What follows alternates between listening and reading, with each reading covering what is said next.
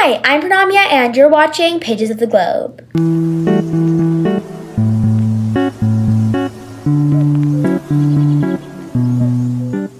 So, if you're new to my channel, hi, I'm Pranamya, and I read short stories and poems, and I give you a very good, deep analysis about them, and I tell you a little bit about the author and the historical context. And if you want more information, go, ha- go ahead and check out the pin video um, on my page. But without further ado, let's get on with the intro. So, the story that I'm going to be reading today is All Summer in a Day by Ray Bradbury. Now, this is a very famous short story, and it is like very much known by a lot of people. If you were in school at some point, you probably have read this, especially in America. Um, but it is one of Ray Bradbury's most famous novels, and it has a lot to do about just human systems and how they work and whether they are actually good or not. I will say this story is mainly very famous, in my opinion, because it invokes very strong like emotions. It invokes a lot of strong emotions, specifically anger. Um, however, it does, you know, center around a group of little nine year olds, so like third or fourth graders around that kind of time period, that um, age frame. But they are all actually living on Venus, which is so cool. And they have a civilization in Venus, and it's actually a very like stable civilization. It's just about how you know they live in Venus. And fun fact about Venus, it actually only rains for two hours every or the sun comes out for two hours every seven years. Otherwise, it is literally raining non-stop.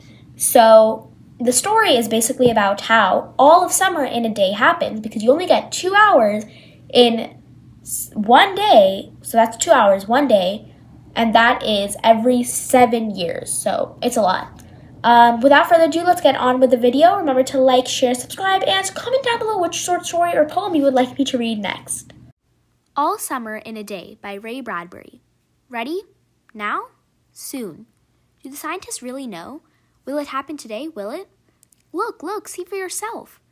The children pressed to each other like so many roses, so many weeds intermixed, peering out for a look at the hidden sun. It rained. It had been raining for seven years, thousands upon thousands of days compounded and filled from one end to the other with rain, with the drum and gush of water, with the sweet crystal fall of showers and the concussion of storms. So heavy they were tidal waves come over the islands. A thousand forests had been crushed under the rain and grown up a thousand times to be crushed again. This was the way life was forever on the planet Venus. And this was a schoolroom of the children of the rocket men and women who had come to a raining world to set up civilization and live out their lives. It's stopping! It's stopping! Yes, yes! Margot stood apart from them, from these children who could never remember a time when there wasn't rain and rain and rain. They were all nine years old, and if there had been a day seven years ago when the sun came out for an hour and showed its face to the sunned world, they could not recall. Sometimes at night she heard them stir in remembrance, and she knew they were dreaming and remembering a gold or a yellow crayon or a coin large enough to buy the world with. She knew they thought that they remembered a warmness, like a blushing in the face, in the body, in the arms and legs and trembling hands. But then they always awoke to the tattling drum, the endless shaking down of clear bead necklaces upon the roof, the walk, the gardens, the forests, and their dreams gone. All day yesterday they had read in class about the sun, about how like a lemon it was, and how hot. They had written small stories or essays or poems about it. I think the sun is a flower that blooms for just one hour. That was Margot's poem, read in a quiet voice in a still classroom while the rain was falling outside. Aw, you didn't write that, protested one of the boys. I did, said Margot. I did. William, said the teacher. But that was yesterday. Now the rain was slackening, and the children were crushed in the great thick windows. Where's the teacher? She'll be back. She'd better hurry, we'll miss it. They turned on themselves like feverish wheel, all tumbling spokes. Margot stood alone. She was a very frail girl who looked as though She'd been lost in the rain for years, and the rain had washed out the blue from her eyes, and the red from her mouth, and the yellow from her hair. She was an old photograph, dusted from an album, whitened away, and if she spoke at all, her voice would be a ghost. Now she stood separate, staring at the rain and the loud, wet world beyond a huge glass. What are you looking at? said William. Margot said nothing. Speak when you're spoken to. He gave her a shove, but she did not move. Rather, she let herself be moved, only by him and nothing else. They edged away from her. They would not look at her. She felt them go away, and this was because she would play no games with them in the echoing tunnels of the underground city. If they tagged her and ran, she stood blinking after them and did not follow. When the class sang songs about happiness and life and games, her lips barely moved. Only when they sang about the sun and the summer did her lips move as she watched the drenched windows. And then, of course, the biggest crime of all was that she had came here only five years ago from Earth, and she remembered the sun and the way the sun was and the sky was when she was four in Ohio. And they, they had been on Venus all their lives, and they had been only two years old when last the sun came out and had long since forgotten the color and the heat of it and the way it really was. But Margot remembered. It's like a penny, she said once, eyes closed. No, it's not, the children cried.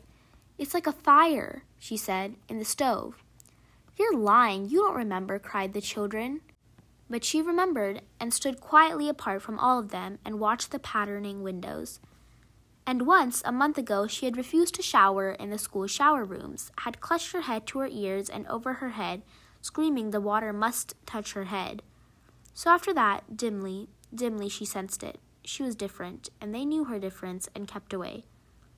There was talk that her father and mother were taking her back to Earth next year. It seemed vital to her that they do so, though it would mean the loss of thousands of dollars to her family. And so the children hated her for all these reasons of big and little consequence. They hated her pale snow face, her waiting silence, her thinness, her possible future. Get away, the boy gave her another shove. What are you waiting for? And then, for the first time, she turned and looked at him. And what she was waiting for was in her eyes.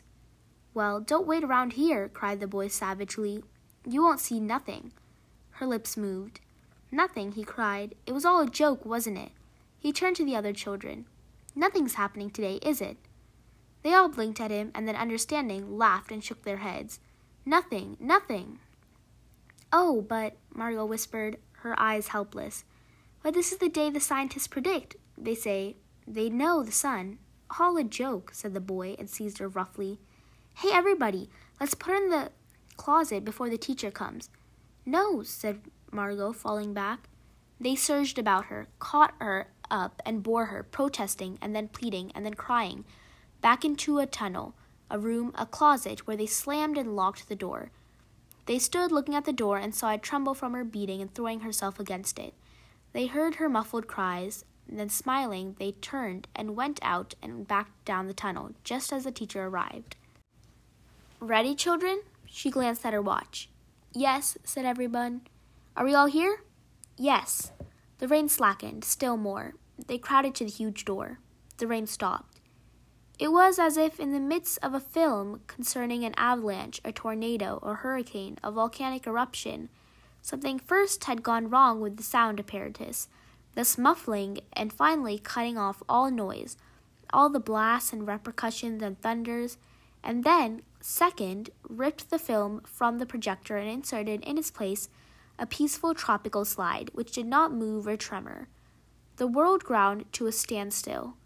The silence was so immense and unbelievable that you felt your ears had been stuffed or you had lost your hearing altogether.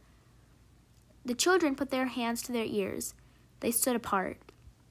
The door slid back, and the smell of the silent, waiting world came into them. The sun came out. It was the color of flaming bronze, and it was very large and the sky around it was a blazing blue tile color. And the jungle burned with sunlight as the children, released from their spell, rushed out yelling into the springtime. Now don't go too far, called the teacher after them. You've only two hours, you know. You wouldn't want to get caught out.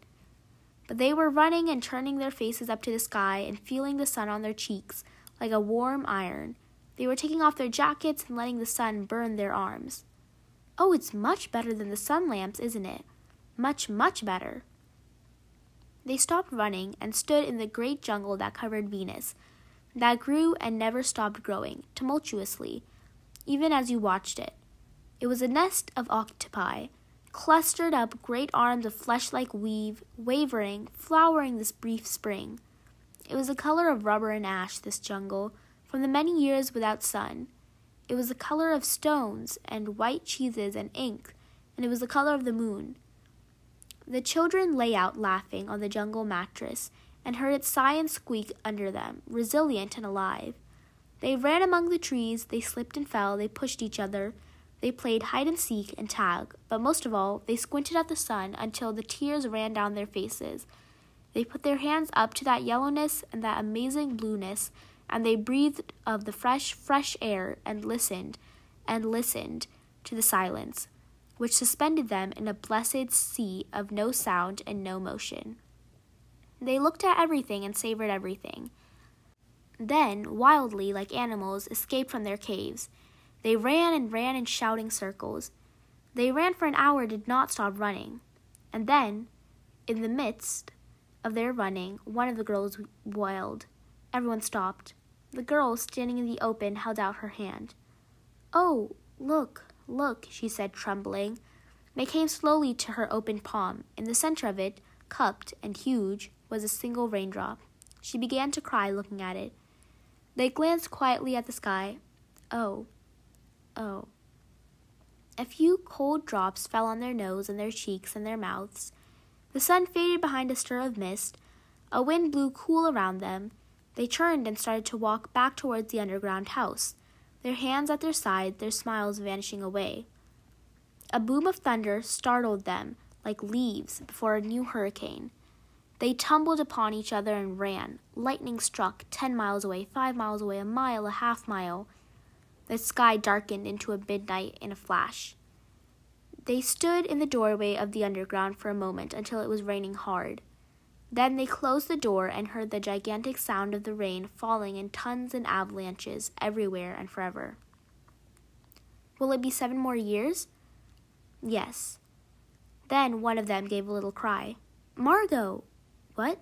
She's still in the closet where we locked her. Margot. They stood as if someone had driven them, like so many stakes, into the floor. They looked at each other and they looked away. They glanced out at the world that was raining now, and raining and raining steadily. They could not meet each other's glances. Their faces were solemn and pale. They looked at their hands and feet, their faces down.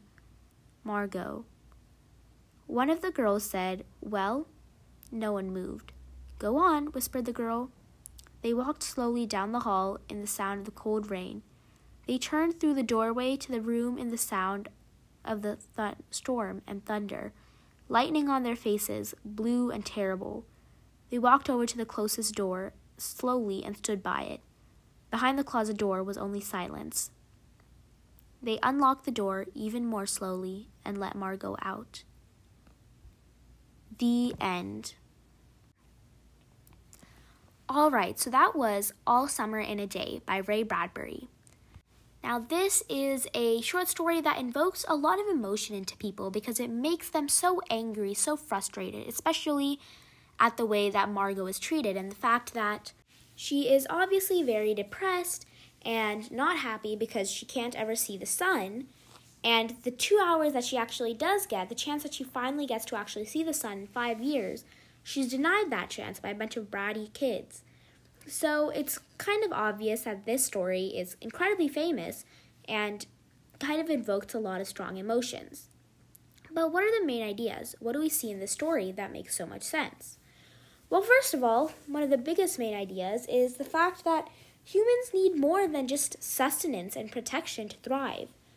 Margot's experience on Venus vividly illustrates the idea that humans need more than mere sustenance to thrive. Presumably, Margot has enough to eat and drink.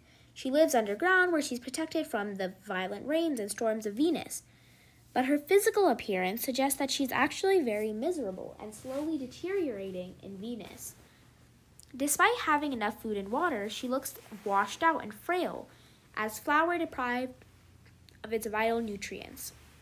it's very obvious that she needs something more than just food, water, and shelter in order to live. Which then begs the question of survival versus thriving. Yes, you can survive with food, water, shelter, but can you thrive with it? Obviously, in Margot's case, not. And it's also not just the lack of sunlight that's causing her to deteriorate. After all, the colony does use sun lamps. Rather, for Margot, the problem is to uh, being able to un- to not see or experience the sun itself. The sun represents life and hope and the promise of a better tomorrow. Without this, Margot cannot actually survive. Margot is not the only child who needs the sun and the hope and promise it represents. When the rest of the class go outside to be in the sunshine, they don't just lie in the sun and soak up its nutrients. They actually stare into it until their eyes water and they run around shouting almost uncontrollably. This shows that the sun provides something just as important as warmth and nutrients, if not more. It provides joy, which is something that humans cannot live without. Another very important main idea here is that human systems, even impressive ones, are often inhumane. Bradbury's dystopian tale presents a civilization that accomplishes incredible things, yet ultimately fails its people. In the world of All Summer in a Day, humans have succeeded in traveling through space and setting up a fledgling civilization in an inhospitable planet. That's incredible. Some of the colonists have been on Venus for at least nine years and have actually been able to raise children there. So the colony has, at a minimum, managed to operate and function. They have established a school with at least one teacher, which indicates that the new inhabitants of Venus are not scratching out a life of bare survival. It's actually a very stable civilization.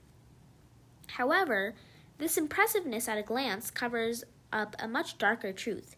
Many of the people are suffering. Margot and William are the most obvious examples of this, but the ways in which all children react to playing in the sunshine suggest that the suffering is widespread and lurking beneath the surface of their collective success. The children do not experience their time in the sun as a mere novelty. Rather, it is deeply meaningful for them. The fact that this experience will only happen once every seven years is plenty evidence that, impressive as the civilization is, it still failed its citizens. On a smaller scale, the bullying that the children in which the children engage is another example of the inhumanity inherent in a social system. Bradbury expresses the idea that human systems can be inhumane in many of his works. In fact, Bradbury himself was a self educated, and he spent his time reading and writing in the library rather than attending college, and was very critical of the education system, considering it creativity, creatively stifling.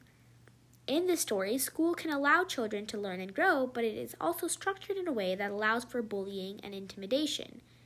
In the story, Margot's differences and creativity are punished by her peers, demonstrating the ways in which human systems often foster cruelty.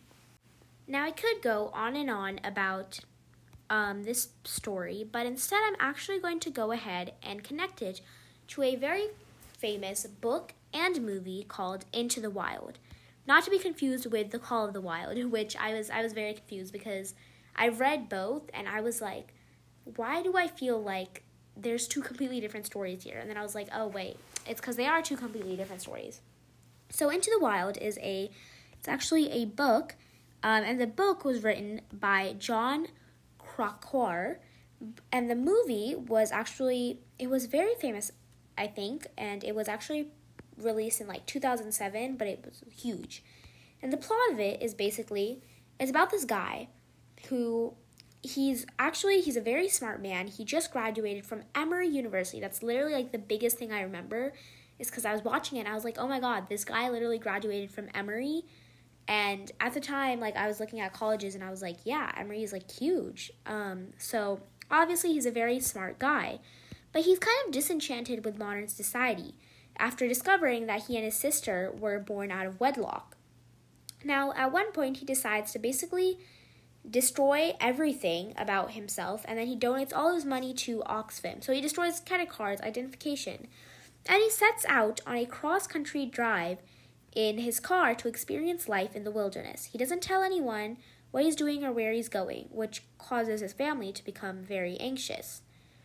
Now, he goes through so many like just I don't want to say strained, but just a lot of hardships as he lives in the wild. And he's just not doing so well right now, honestly.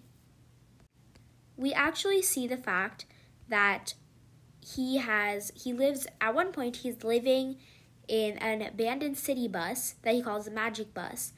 And he does seem to be like content with isolation and the beauty of nature and the thrill of living off the land. And he hunts his own food with a gun and he reads books and keeps a journal as he prepares for his new life in the wild. Now 4 months later life has just become even more hard and he makes several several poor decisions Trying to live off the land, he hunts down this like moose with his rifle, but he can't preserve the meat and it spoils within days. As his supplies dwindle, he realizes that nature can be very harsh.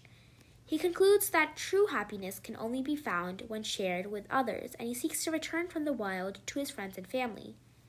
However, he finds that the stream he crossed during the winter has become wide and deep, and he is unable to cross. In a desperate act, he gathers and eats roots and plants. He confuses similar plants and eats a poisonous one, slowly dying. And he continues to document his process of self realization and imagines what it might have been like if he had managed to return to his family. He writes a farewell note and then crawls into his sleeping bag to die. And I think the biggest thing, the biggest thing I remember from that story there were two things the fact that he was an Emory graduate, and the second one was the fact that he is literally dying and he realizes that this happiness that he was trying to find in the wild, that he was so determined to find by himself in nature, he realized that he could only truly find it when it was shared with others. Now, I know the message is kind of different between both of these stories, but what I think is so interesting is the fact that in All Summer of the Day, we find that no matter how hard humans try to, you know, survive and thrive by themselves in this sort of new land, they simply cannot. They need things like joy. And the same thing happens in here with McCandless, who is um, the main character of the story, if you didn't know. His name is Chris McCandless. And Chris, in this, in, um, Into the Wild, he also finds here that even though he tried so hard to survive in the wilderness and find joy in nature by itself, he realized he had to share it with someone. I think that is such an important message, both of them being the fact that you need in in order to serve like genuinely thrive, you need joy, and in order to have joy, you need to be able to share it with others. Now, that is it from me today. Remember to like, share, subscribe, and comment down below which short story or poem you would like me to read next.